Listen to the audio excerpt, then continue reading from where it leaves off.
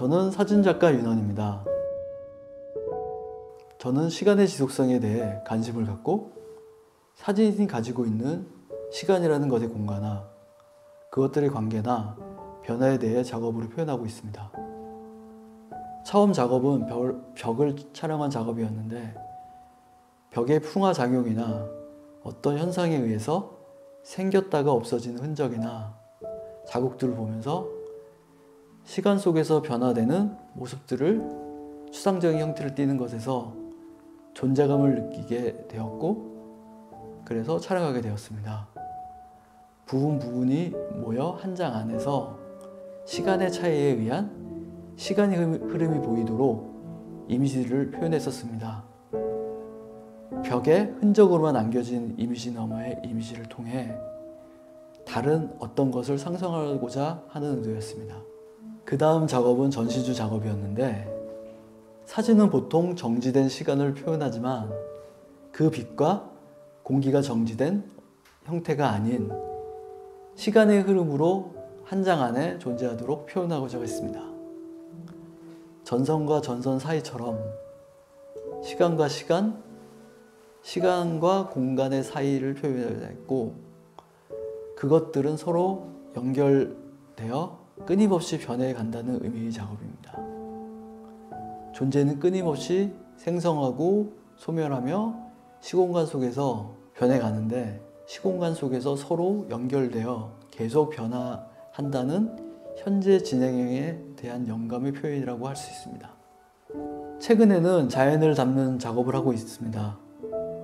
마찬가지로 시간이 흐르는 과정 속에서 변화하지만 여전히 지속하는 존재에 대한 작업입니다.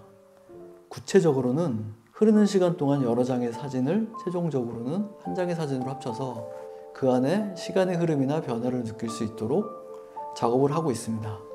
시간의 흔적을 포착할 수 있도록 다중 촬영 과정을 통해서 그렇게 모여진 부분 부분을 콜라주해서 시간의 흐름이나 시간차가 느낄 수 있도록 하는 작업입니다.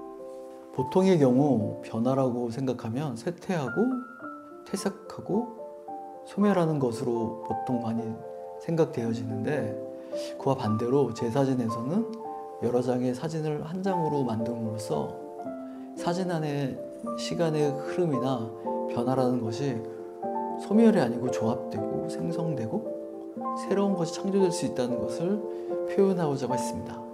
한 장으로 이루어진 사진이 아니고 여러 장이 합쳐진 사진으로 표현해서 사진의 끝부분이 경계가 잘린 것처럼 보이는 것을 꼴라주 한 작업이 있고 프레임 주변에 광량이 부족해서 그 생기는 비네팅 현상을 통해서 직접적으로나 간접적으로 시간의 흐름이나 시간차에 대한 효과적으로 표현하고자 했습니다.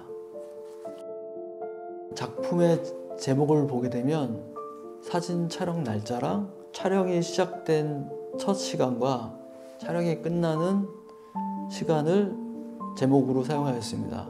예를 들어 37분 48초라고 하면 그 시간 동안 촬영을 지속적으로 해서 그 시간 동안의 이미지 부분분을 꼴라주 했다는 의미입니다. 변화하는 시간을 분할된 공간으로 강조했고 시간의 자국을 남기는 작업이라고 할 수 있습니다.